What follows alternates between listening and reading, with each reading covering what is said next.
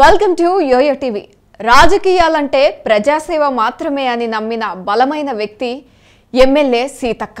తాను నమ్మిన సిద్ధాంతాన్ని మనసా వాచా కర్మణ పాటిస్తూ తనని నమ్ముకున్న వారికి కష్టాల్లో సాయంగా నిలుస్తూ ప్రజా ప్రతినిధి అంటే ఇలానే ఉండాలని అనిపించుకుంటుంది సీతక్క.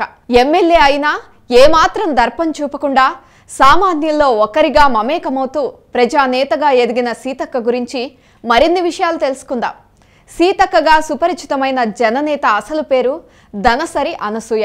వరంగల్ జిల్లా ములుగు మండలం జగ్గన్నపేట గ్రామంలో ఓ కూలి పనులు చేసి జీవనం సాగిస్తున్న ఓ నిరుపేద ఆదివాసీ కుటుంబంలో జూలై తొమ్మిది పంతొమ్మిది వందల డెబ్బై ఒకటిన జన్మించింది. తల్లి సమ్మక్క తండ్రి సమ్మయ్యలకు అనసూయ రెండవ సంతానం.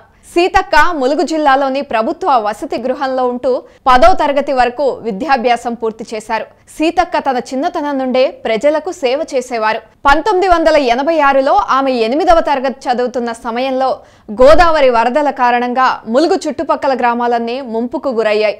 ఆ సమయంలో ప్రజలకు సాయం చేయడానికి తన స్నేహితులతో కలిసి మూడు రోజుల పాటు చందాలు వసూలు చేసి సుమారుగా పదమూడు వేల ఐదు వందల రూపాయలు జమ చేసి సాయం చేశారు. ఆ తర్వాత పాఠశాలలో వసతి గృహాల్లో జరిగే అన్యాయాలను ఎదుర్కొన్నారు.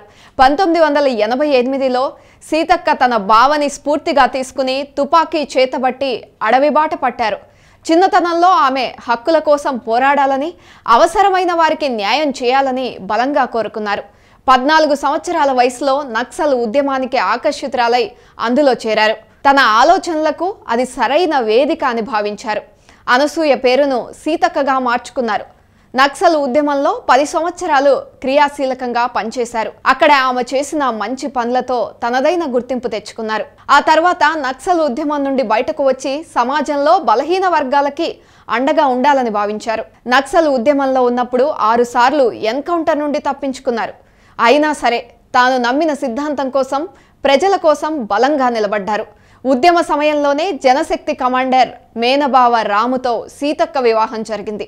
ఆ తర్వాత కొద్ది రోజులకు సీతక్క జనజీవన స్రవంతిలో కలిసిపోయారు. సమాజంలో జరిగే అన్యాయాలను చూడలేక వారికి న్యాయం చేయాలనే ఉద్దేశంతో పడాల రామరెడ్డి లా కాలేజ్లో ఎల్ఎల్బి పూర్తి చేశారు. వరంగల్లో న్యాయవాదిగా ప్రాక్టీస్ మొదలుపెట్టి ఆ తర్వాత రాజకీయాల ద్వారా ఎక్కువ మందికే సేవ చేయొచ్చు అని భావించి రాజకీయాల్లో అడుగుపెట్టారు. రెండు వేల నాలుగులో తొలిసారి తెలుగుదేశం పార్టీ నుండి పోటీ చేసి కాంగ్రెస్ పార్టీ అభ్యర్థి పొదెం వీరయ్య చేతిలో ఓటమి చెందారు. రెండు వేల తొమ్మిది ఎన్నికల్లో మహాకూటమి అభ్యర్థిగా తెలుగుదేశం పార్టీ నుండి పోటీ చేసి కాంగ్రెస్ పార్టీ అభ్యర్థి పొదెం వీరయ్యపై ములుగు శాసనసభ నియోజకవర్గం నుండి గెలిచి తొలిసారి అసెంబ్లీలో అడుగుపెట్టారు సీతక్క. తెలంగాణ రాష్ట్ర ఆవిర్భావం జరిగిన తర్వాత రెండు వేల పద్నాలుగు అసెంబ్లీ ఎన్నికల్లో తెలంగాణ రాష్ట్ర సమితి అభ్యర్థి అజ్మీరా చందులాల్ చేతిలో ఓడిపోయారు. రెండు వేల పద్దెనిమిది అసెంబ్లీ ఎన్నికల్లో తెలంగాణ రాష్ట్ర సమితి అభ్యర్థి అజ్మీరా చందులాల్పై గెలిచి రెండవసారి అసెంబ్లీకి ఎన్నికయ్యారు. గెలిచినా ఓడినా నిత్యం ప్రజలతోనే ఉండేది సీతక్క. తన ప్రజలకు కష్టాలు వస్తే చలించిపోయేది. కరోనా వైరస్ లాక్డౌన్ పరిస్థితుల్లో సీతక్క గిరిజనులు ఆదివాసీల కోసం అండగా నిల్చున్నారు. అడవి బిడ్డల ఆకలిని తీర్చడానికి అహర్నిశలు శ్రమిస్తున్నారు. దట్టమైన అడవుల్లో నివాసం ఉంటున్న గిరిజనుల కోసం నిత్యావసర సరుకుల్ని చేరవేయడానికి కాలినడకం తిరుగుతున్నారు. కొండలను ఎక్కి దిగుతున్నారు సామాన్యుల్లో సామాన్యురాలిగా గిరిజనుల ఆకలిని తీర్చే ప్రయత్నం చేస్తున్నారు. Mulugu MLA Seethakka corona lockdown సమయంలో ఆదివాసీ గిరిజన కుగ్రామాల్లో ప్రజలకు అందించిన సేవలు అన్నీ ఇన్ని కావు. ప్రజా ప్రతినిధి అంటే ఒంటి మీద కద్దర్ షర్టు నలగకుండా మంది మార్బలంతో ప్రచార ఆర్భాటాలతో నామమాత్రంగా పనిచేసిన వాళ్ళే అందరికీ తెలుసు. కానీ ఎమ్మెల్యే సీతక్క సామాన్యుల్లో సామాన్యురాలిగా కలిసిపోతారు. ఎండను సైతం లెక్క చేయక మూటలు మోసుకుంటూ తన నియోజకవర్గ ప్రజల చెంతకు తానే స్వయంగా వెళ్తారు. వాళ్ళతోనే పట్టెడు మెతుకులు తిన్నారు. వారి అవసరాలు తీర్చి వచ్చారు. తన వారి కోసం అలు పెరగకుండా సీతక్క సాగించిన ప్రయాణం నిజంగా స్ఫూర్తిదాయకం. ఆరోగ్యశ్రీ ద్వారా కరోనా వైద్యం అందించాలని డిమాండ్ చేస్తూ ఆమరణ దీక్షకి సైతం పూనుకున్నారు. సీతక్క అనునిత్యం ప్రజల కోసం ఆరాటపడే మనిషి. లాక్డౌన్తో తిప్పలు పడుతున్న ములుగు నియోజకవర్గ గూడేలలో ఆదివాసీల ఆకలి బాధలు తీర్చేందుకు స్వయంగా గిరిజన గూడేలకు వెళ్ళి వారికి కావలసిన నిత్యావసరాలు అందించి వచ్చారు. కొండలు గుట్టలు రాళ్ళు ముళ్ళు వీటిని వేటిని లెక్క చేయకుండా ఆమె తన నియోజకవర్గ ప్రజల కోసం పరితపించారు. రాజకీయాల్లో ఆమె ఒక కెరటం. నవమాసాలు మోస్తేనే అమ్మ కాదు స్త్రీతత్వంలోనే మాతృత్వ మధురిమ ఉంది. అమ్మతనానికి అధికారిక దర్పాలుండవు.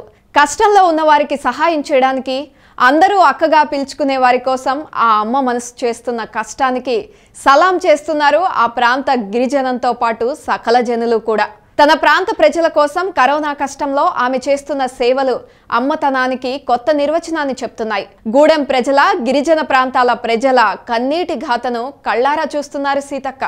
వారి ఆవేదనను మనసారా వింటున్నారు. కాలినడకన వాగులు వంకలు దాటుకుంటూ అడవిబాట పట్టారు. నిత్యావసర వస్తువుల్ని ఎడ్ల బండిలో ట్రక్కుల్లో తీసుకెళ్ళి తన నియోజకవర్గాల ప్రజలకు చేరవేస్తూ ప్రజా ప్రతినిధి అనే పదానికి అసలైన అర్థాన్నిస్తున్నారు. అణగారిన వర్గాల కోసం నాడు ఎగరేసిన ఎర్ర బావుట. అదే వర్గాల అభ్యున్నతి కోసం నేడు ఎమ్మెల్యేగా పాటుపడుతున్నారు.